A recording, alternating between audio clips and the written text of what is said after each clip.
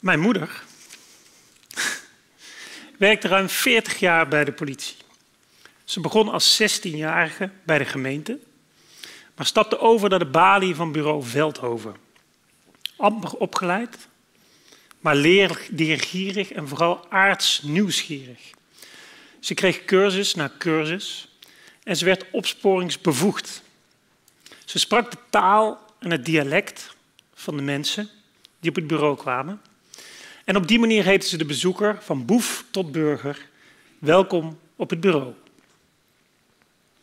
Mijn moeder schopte het dankzij die cursussen tot informatieknooppunt op een best wel geheime rechercheafdeling.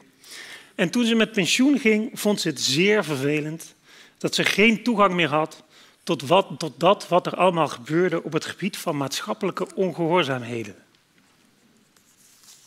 Dit wordt nog een probleem, die briefjes. Mijn vader werkte in de geestelijke gezondheidszorg. Een gezinsvervanger tehuis in Veldhoven, waar hij een soort meewerkend voorman was, te midden van geestelijk gehandicapte bewoners en een gezellig team. Door mijn vaders werk groeide ik op met die bewoners. Ik vierde kerstmis met hen en ik voelde me er thuis. Op latere leeftijd begonnen de vele slaapdiensten mijn vader op te breken en dus verkaste hij naar het ambulante werk dat nu Bonton is in de GGZ. Dat deed hij met iets minder plezier en het prepensioen kwam dus als geroepen. Maar stilzitten doet hij niet, want vader Hein werd Slans meest zichtbare anti-Qatar 2022 activist. En een gevreesde luis in de pels van de sportjournalistiek in Nederland. Het onderzoekende en nieuwsgierige van mijn moeder, het activistische en engagement van mijn vader met een focus op zorg en veiligheid. Ik heb het niet van een vreemde. Welkom allemaal. Um, nadat een aantal van jullie uh, vanochtend al buiten heeft mogen genieten van het praktische politiewerk, zal ik er nu wat theoretischer op ingaan. Um, en ik vertel u met plezier hoe ik de komende jaren als actieonderzoeker zal proberen bij te dragen aan de, je zei het al Lisbeth, hernieuwde relevantie van gebiedsgebonden politiewerk, oftewel Um, ehm, mijn electorale reden is als volgt opgebouwd. Um, eerst ga ik in op het fenomeen actieonderzoek en hoe ik dat heb omarmd als een bij de politie passende wetenschapsfilosofie. Daarna bespreek ik met name voor de buitenstaanders even kort wat GGP is. Zo, om vervolgens het verleden, het heden en de toekomst van GGP in vijf opeenvolgende generaties te belichten. Ik sta wat langer stil bij de nieuwe generatie, de toekomst van GGP, die, zo zal ik beargumenteren, op basis van maatschappelijke ontwikkelingen vraagt om een ondubbelzinnige investering in een politie die lokaal geworteld is. Dat konden we vanochtend in NRC inderdaad lezen. Dank Martin voor de samenvatting van mijn reden in twee alinea's in dat stuk. Um, het vraagt ook om een, een lector die zich daarin mengt. En ik ga daarom ook kort in op de manier waarop ik ontwikkelend aan de slag wil gaan. Uh, en om daarna te eindigen met een onderzoeksagenda die daarbij past.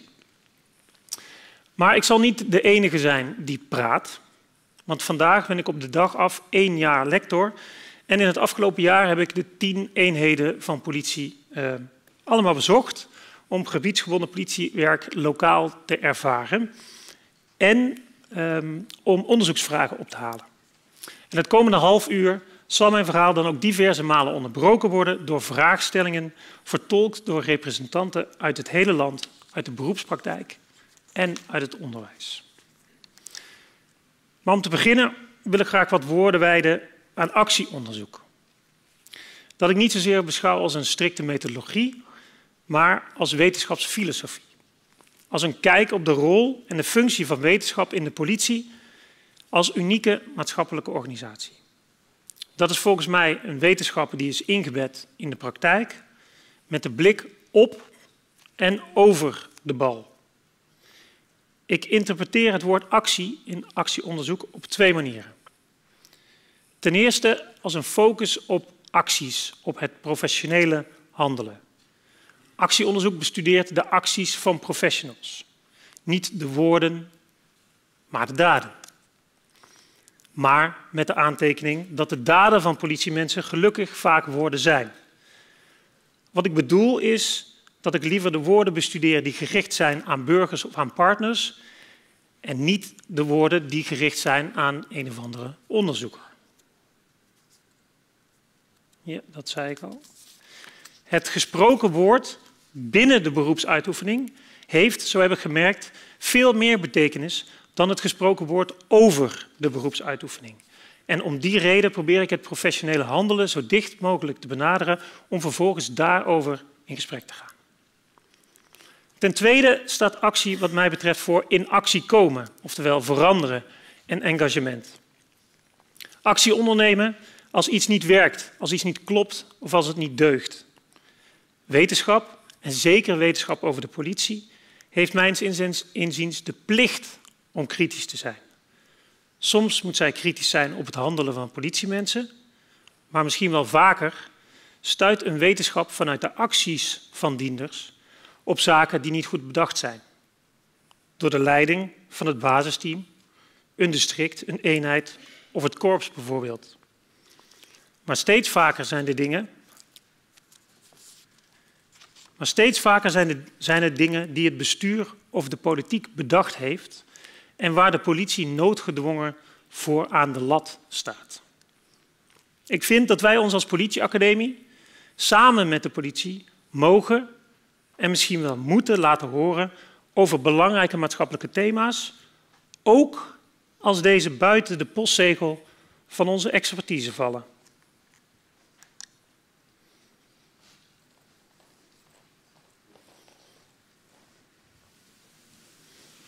Hallo iedereen, mijn naam is uh, Sarah Noot.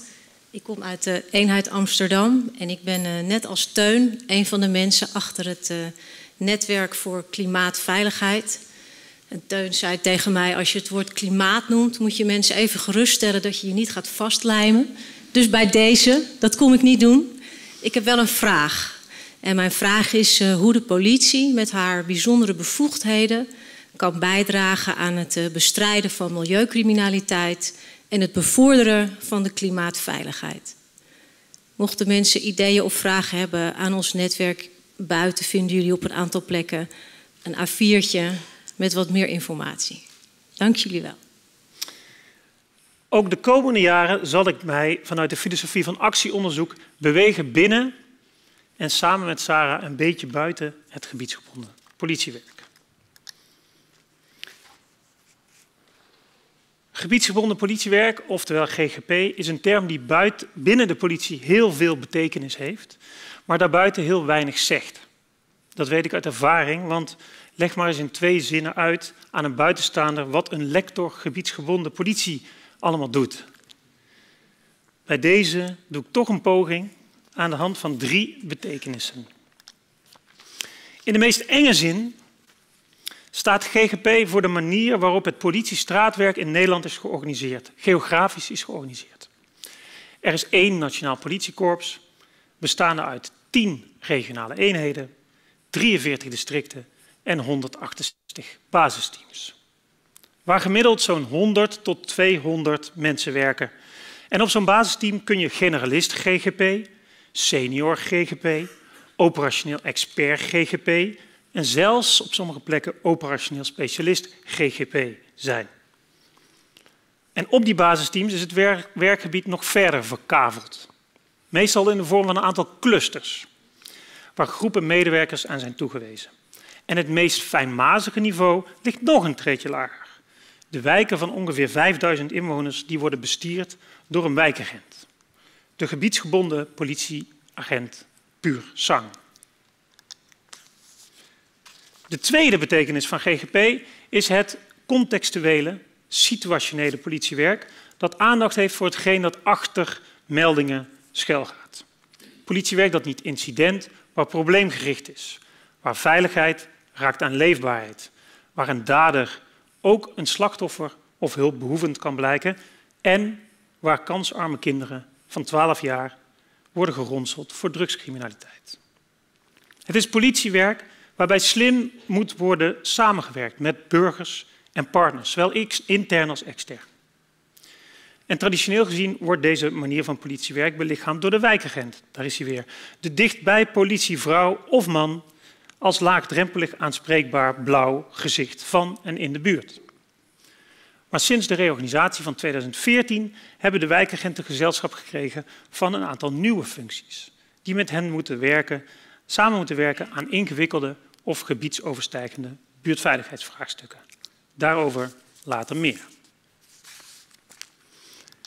In de derde interpretatie is gebiedsgebonden politie de Nederlandse vertaling van community policing.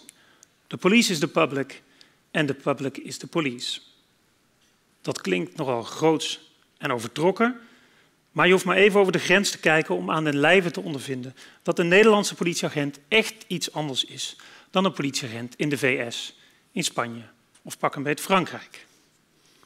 In de meest fundamentele zin vertegenwoordigt GGP het beeld dat wij van de Nederlandse politie hebben. Het is onze overtuiging dat de politie niet alleen repressief optreedt, maar verbonden is met de samenleving. En ook hierin heeft de wijkagent een belangrijke symbolische functie.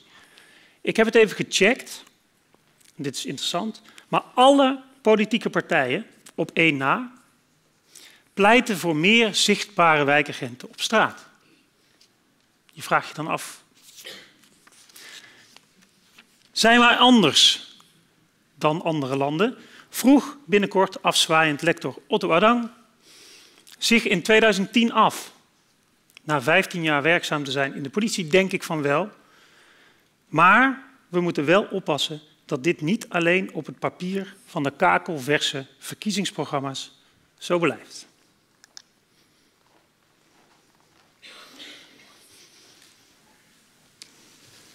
Goedemiddag allemaal. Mijn naam is René de Hollander. Ik ben uh, operationeel expert wijkagent. Zoals net uh, aangegeven werd, wijkagent GGP. In basisteam Zeeuws-Vlaanderen. Vlakbij het uh, volgens steun het mooiste stadhuis. Of een van de mooiste gebouwen van Nederland. Dan zoek het vooral een keer op het stadhuis van Terneuzen. Mijn vraag is, hoe krijgen wij de wijkagent vacatures gevuld met collega's die de functie aan willen, aan durven maar ook het gebiedsgebonden politiewerk in de vingers hebben.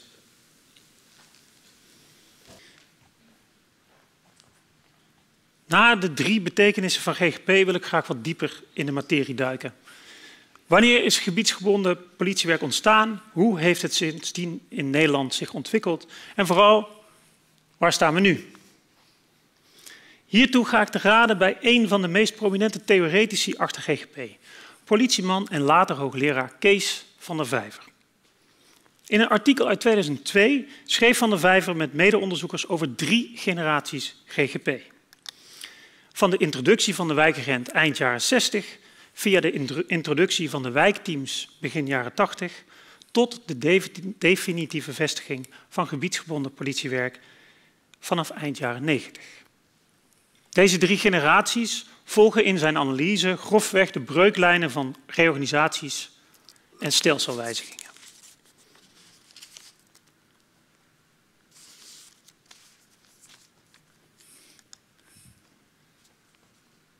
Ja, nu mis ik dus een kaartje.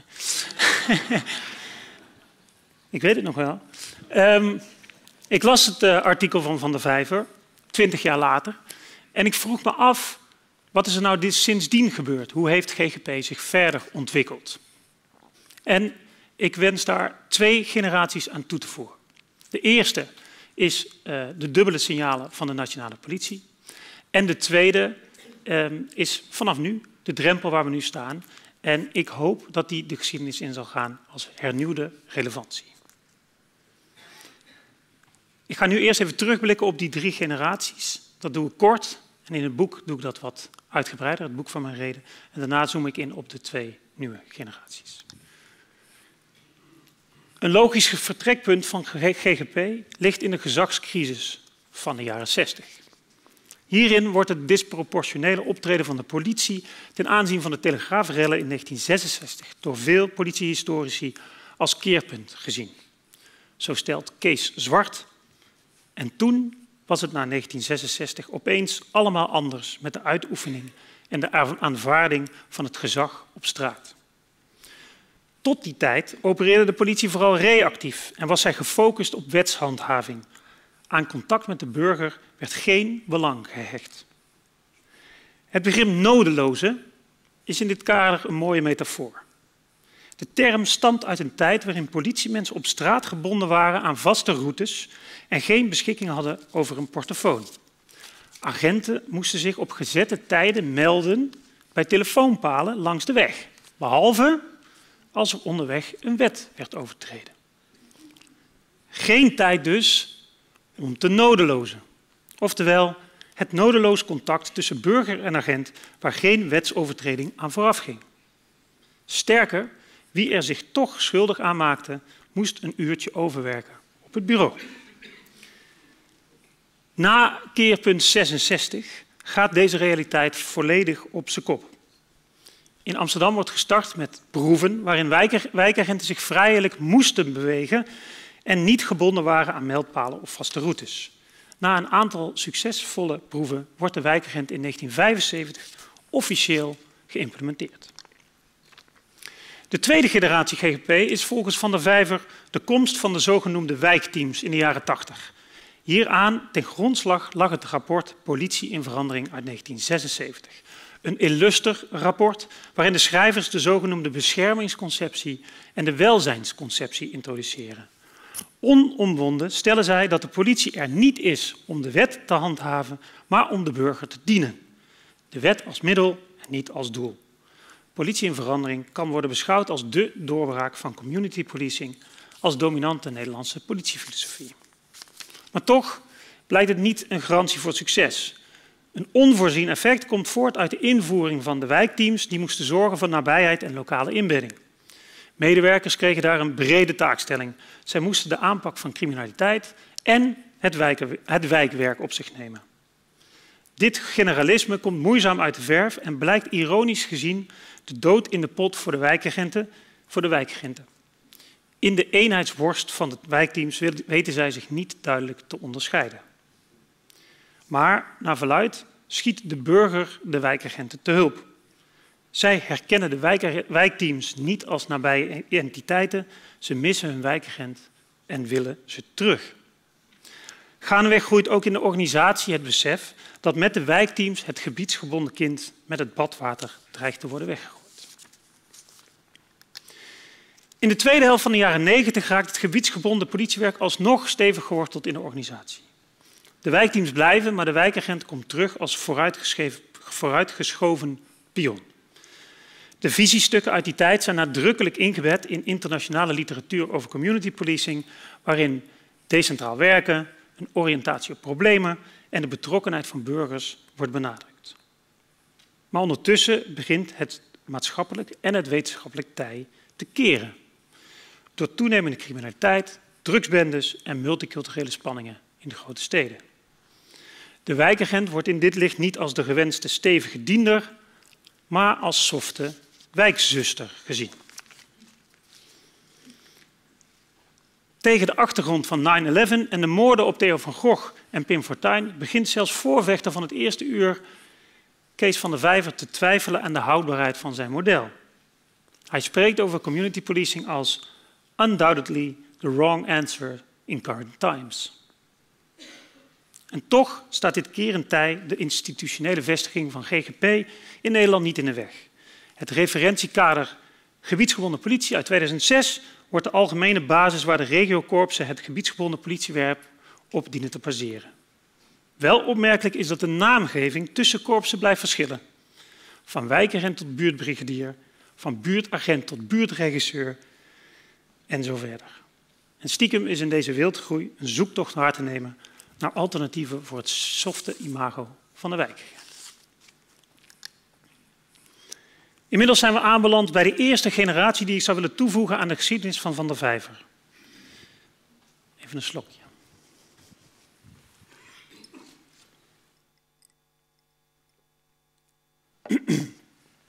De vierde generatie GGP is er een van dubbele signalen in een nationaal politiebestel.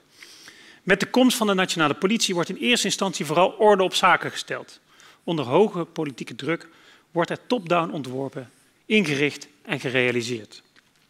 De wijkteams worden basisteams en de vele verschillende namen voor gebiedsgebonden politiemensen zijn dan eindelijk verleden tijd.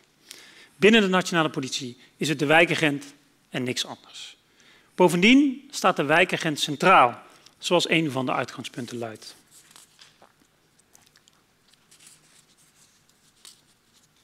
De wijkagent Centraal is tevens de titel van het actieonderzoek dat ik in aanloop naar de nationalisering met Bert-Jan Kreulen en zeven wijkagenten in Nederland heb verricht.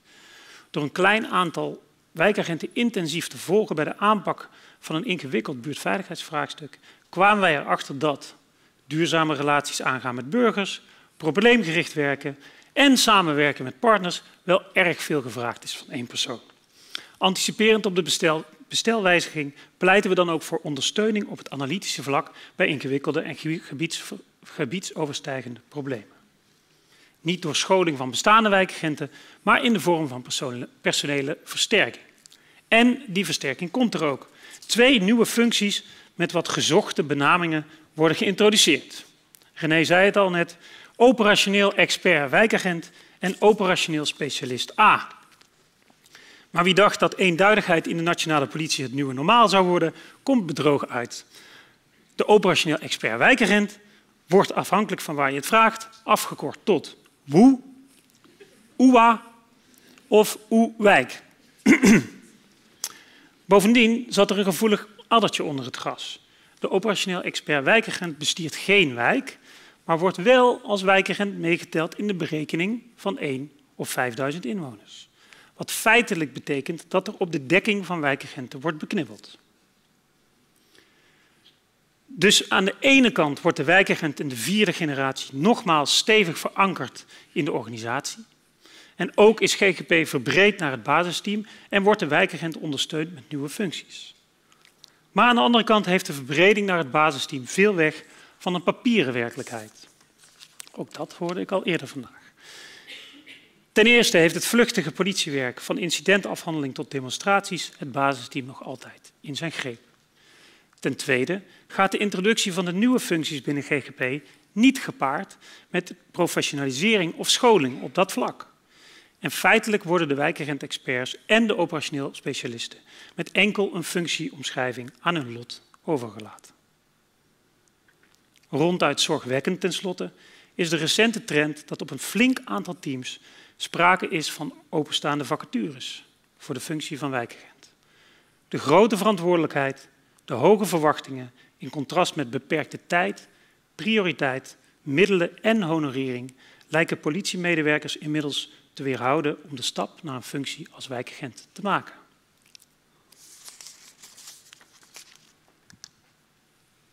En hiermee staan we op de drempel van een belangrijke keuze, die feitelijk bepaalt hoe de vijfde generatie GGP de geschiedenis in zal gaan. Welke van de dubbele signalen krijgt de overhand? Een halfbakken, quasi-generalistische invulling die weliswaar van het papier spat, maar in werkelijkheid weinig om het lijf heeft? Of, ik zou het wel weten, een ondubbelzinnige investering in de ontwikkeling van lokale politieprofessionaliteit die geworteld is in wijk, web en wereld. En de logische breuklijn hebben we cadeau gekregen.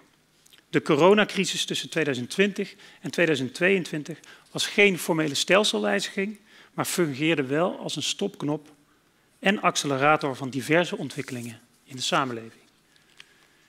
De dreiging van massale sterfte, de oproepen tot solidariteit en de vraag aan de politie om nieuwe, soms betwistbare regels te handhaven, hebben ervoor gezorgd dat de druk op de zorg, veiligheidspartners en overheid verder is toegenomen. En sindsdien stapelen de ontwikkelingen zich op.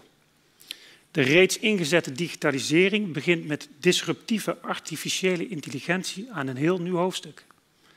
Het sluimerende onbehagen manifesteert zich inmiddels expliciet, van bedreigde politici via boeren- en klimaatprotesten tot soevereinen die de staat zelfs volledig zeggen te negeren.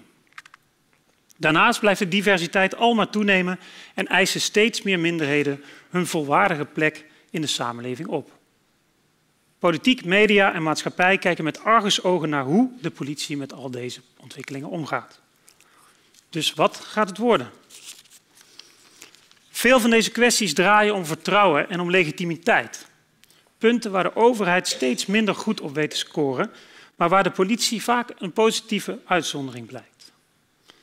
Onderzoeker Dorian Schaap wijst op een aantal mogelijke verklaringen, zoals procedurele rechtvaardigheid en herkenbare aanwezigheid op straat. Lees de vele pleidooien voor een nabije overheid, lokale sociale voorzieningen, menselijke maat en ambtenaren met moraal, moreel besef er maar op na. Alle maatschappelijke signalen wijzen op de noodzaak voor een stevig gewortelde overheid die lokaal zichtbaar is en maatwerk kan bieden. Gaan we dan echt beknibbelen op de politiemensen die op straat dit symboliseren en belichamen? De hernieuwde relevantie van een lokaal verankerde politie wordt door verschillende toonaangevende Nederlandse politieonderzoekers geïllustreerd. Neem de ondermijningsbeelden van Edward van der Toren en Pieter Tops, die een plaatje schetsen van afgelegen gebieden waar loesje ondernemers, doorgewinterde criminelen en kansarme burgers zich elkaar naadloos weten te vinden rondom kleine havens, vliegvelden en grensstreken. Voor veel bewoners is in deze gebieden is de politie een abstract begrip geworden, zoals Terpstra en Salet zo treffend weten te duiden. Digitale communicatiestromen hebben het overgenomen van fysiek contact, zowel richting burgers als richting partners, waardoor waardevolle kennis van de lokale context verdwijnt. De consequenties hiervan laten zich momenteel met name in afgelegen gebieden voelen, maar het risico op een afgehaakt Nederland is niet voorbehouden aan het platteland. Ook in vele stadswijken en middelgrote steden is sprake van institutioneel wantrouwen en maatschappelijk onbehagen, zo blijkt uit recente studies van het Sociaal Cultureel Planbureau en de Wetenschappelijke Raad voor Regeringsbeleid. De hernieuwde relevantie van gebiedsgebonden of gebiedsverbonden politie is dus geen valse nostalgie naar de oude tijd, noch een miskenning van het digitale tijdperk of echte criminaliteit. Het is juist de verfoeide nieuwe tijd, waarin digitalisering en individualisering de behoefte aan verbanden vergroten. Een afgehaakte, ontheemde en soms wantrouwende burger vraagt om een digitaal vaardige politie en een lokaal gewortelde politie die staat voor procedurele rechtvaardigheid. Een politie die vertrouwen wekt, digitaal wijs is en ingrijpt als de morele grenzen en het gezag worden ondermijnd. En het is daarbij zeer de vraag of community policing, digitaal politiewerk en opsporing in deze realiteit conflicterende logica's zijn of dat ze op fundamenteler niveau in elkaar grijpen. Graag wil ik hier Boutelier's opvatting over de politiefunctie aanhalen. Het bemiddelen in de morele ruimte. Criminelen die ongestoord dienst uitmaken in een dorpsgemeente. Asielzoekers die op de grond slapen in Ter Apel. Verwarde personen die naakt op straat aan hun lot worden overgelaten. Vervuilende bedrijven die omwonenden jarenlang vergiftigen. Allemaal situaties die moreel onaanvaardbaar zijn en ondermijnend zijn voor het vertrouwen in de overheid en de legitimiteit van de politie als ze blijven voortbestaan. Het mogen duidelijk zijn, er is nogal wat aan de hand. En dat ga ik als actieonderzoeker niet allemaal oplossen of op mijn schouders nemen. Ik denk ook dat we wat van de politiek mogen verwachten. Toch ga ik een poging wagen om vanuit een gebiedsgebonden politiefilosofie een bijdrage te leveren aan een lokaal gewortelde politie. In mijn proefschrift Tussen de Linies uit 2021 omschrijf ik mijn methodologie als een participatieve ontwikkelaanpak, waarin onderzoekers en onderzochten samen optrekken. Op die manier wil ik ook als lector opereren op het grensvlak van onderzoek, onderwijs en operatie. Ik geloof namelijk dat de urgentie van de maatschappelijke veiligheidsvraagstukken vraagt om wetenschappers, docenten en professionals die samenspannen en in a good way over elkaars grenzen gaan. Alleen door wezenlijk op elkaar betrokken te zijn, kunnen nieuwe praktijken en werkwijzen ontstaan. In de boekversie van mijn reden ga ik uitgebreider in op wat dat betekent.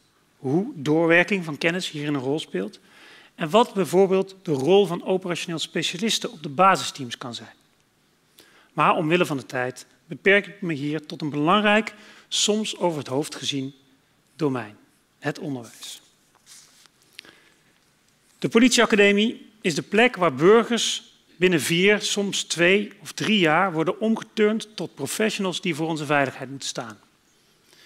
Mijn focus ligt al een jaar of tien op het hoger politieonderwijs, waar ik met verschillende en zeer betrokken docenten politiemensen in spe probeer voor te bereiden op hun belangrijke maatschappelijke rol en uitdagende positie in de politie.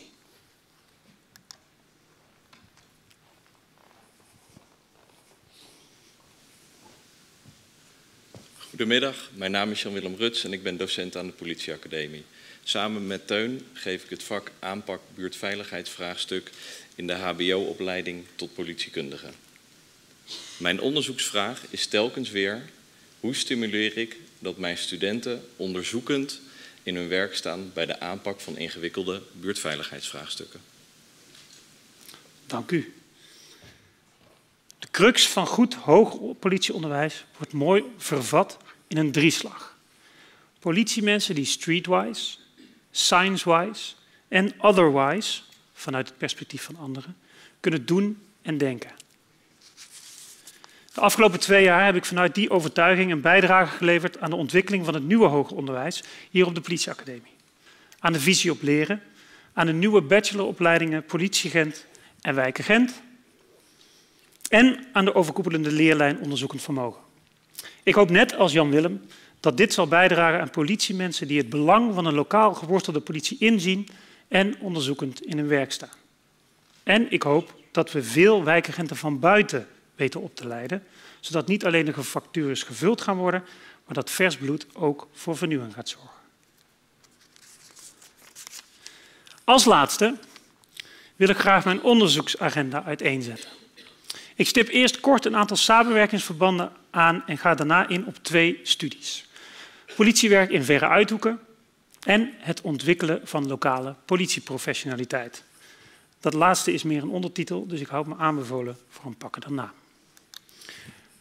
Onderzoek doen is samenwerken en graag licht ik een aantal netwerken uit. Oftewel, het is tijd voor de shout-outs.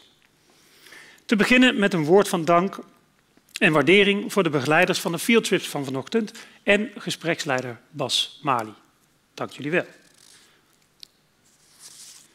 Deze begeleiders maken deel uit van een belangrijk samenwerkingsverband, misschien wel mijn belangrijkste samenwerkingsverband, het kenniscentrum Lokaal Politiewerk. Dat is een netwerk van kennismedewerkers, docenten en onderzoekers met een focus op lokaal politiewerk. Met onderzoekers Sarah Stronks, Ronald van der Wal, Kim van Meulen werk ik graag samen in afgelegen gebieden en van de politiële kennis ingebracht door Jolien van der Haven, Marieke Menkveld en collega's maak ik graag en veelvuldig gebruik. Met de lectoren Janine Jansen en Otto Adang voel ik veel praktijkgerichte verwantschap en met Bouke, dank voor het goede idee om het samen te doen, deel ik diezelfde insteek en een natuurlijke understand. Daarnaast, participeer, Daarnaast participeer ik onder auspiciën van Ronald van Steden, associate professor aan de VU en NSCR, in een fluïde onderzoeksnetwerk waarin verschillende academische praktijkgerichte en praktijkgebonden onderzoekers samenwerken aan grote maatschappelijke opgaven. En een rol op de achtergrond speel ik in onderzoek van associate lector Lianne Kleijer-Kool aan de VU, uh, sorry, van de HU naar woest aantrekkelijk probleemgericht werken. En alleen om die titel ben ik graag betrokken. Daarnaast werk ik met collega-lectoren Jurjen Jansen en Remco Spithoven van Saxion aan een project ten behoeve van de doorwerking van kennis op het gebied van digitalisering in de GGP. Ten slotte de portefeuille GGP, met name Inge Godhelp en Barbara van Kaam. De ontwikkelagenda GGP sluit nog altijd uitstekend aan bij mijn participatieve onderzoeksaanpak en het netwerk van GGP-onderzoekers biedt interessante kansen voor samenwerking binnen en buiten de politie. Mijn gasthoofdredacteurschap met Remco Spithoven, Jasper de Pape, Dorian Schaap en Mike Gieling bij tijdschrift voor politie over de politiefunctie is daar reeds een vrucht van. Ongetwijfeld komt hier de komende tijd nog flink wat bij, alhoewel we ook niet te druk moeten worden. Dus zie dit incomplete lijstje als een uitnodiging voor verdere samenwerking. Dan sta ik heel graag stil bij een omvangrijke studie die ik vanuit Kenniscentrum Lokaal Politiewerk uitvoer. In samenwerking met doorgewinterd GGP-onderzoeker Ivo van Duineveld en veelbelovend junior-onderzoeker Jan Steenbrink. Politiewerk in verre uithoek is een leuk en belangrijk onderzoek in vijf relatief afgelegen gebieden waarin meer of mindere mate sprake is van sociale achterstanden, maatschappelijk onbehagen en institutioneel wantrouwen. De focus ligt op ruraal politiewerk en het aangaan van relaties binnen deze omstandigheden. Politiewerk op het platteland dus. Oftewel een welkome tegenhanger van onderzoek dat zo vaak gericht is op politiewerk in de context van grootstedelijke problematiek. Momenteel is het vooronderzoek gaande in de kop van Noord-Holland, u kunt het hier zien, Noordoost-Groningen, Achterhoek Oost, Zuid-Limburg en Zeeuws-Vlaanderen. Alle onderzoekers hebben een gebied geadopteerd en ik heb het genoegen om naar Delfzijl en omstreken af te reizen. Daar spotte ik op, twee, op dag twee van mijn onderzoek een zeehond, maar maakte de arbeidsmigratie in de Eemshaven en de aardbevingsellende in Loppersum een stuk meer indruk. Het voornemen is om in het hoofdonderzoek samen met professionals op de basisteams te experimenteren met hoe relaties met gesloten gemeenschappen kunnen worden vormgegeven of, waar nodig, hersteld. En misschien moeten we in dat kader eindelijk eens die één wijkagent op 5000 inwonersrichtlijn gaan aanpassen. Je bent actieonderzoeker of je bent het niet.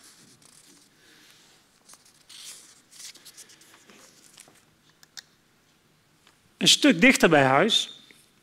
En eigenlijk had ik hier nog één klein geel stipje uh, ingezet op de plek van Apeldoorn, maar ik durfde niet de zevende nieuwe PowerPoint-presentatie aan Ingrid Dijkhoff te sturen. Maar het nou ja, ik kan daar slecht mee omgaan. Een stuk dichter bij huis zit ik in de prille beginfase van een tweede studie met als ondertitel het ontwikkelen van lokale politieprofessionaliteit. En we bevinden ons midden in de proeftuin van dit onderzoek. Bezoekers van het ochtendgedeelte hebben reeds kunnen proeven van een aantal casussen op het gebied van zorg, ondermijning en migratie. En van de wijze waarop politiemensen van basisteam Apeldoorn hiermee omgaan. Doel van de proeftuin is om lokaal gewortelde politieprofessionaliteit te ontwikkelen. Op zo'n manier dat niet alleen, sorry, op zo'n manier dat niet zozeer de wijkagent, maar de vraagstukken centraal staan.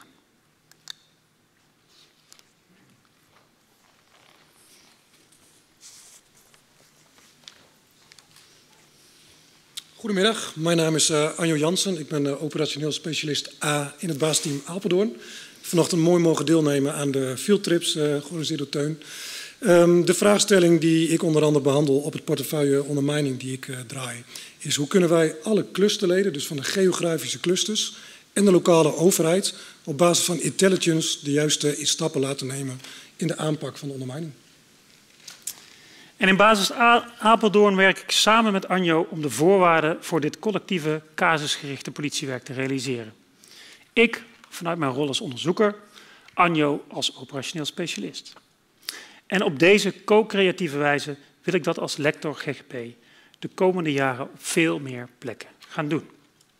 Wil je meehelpen? Graag.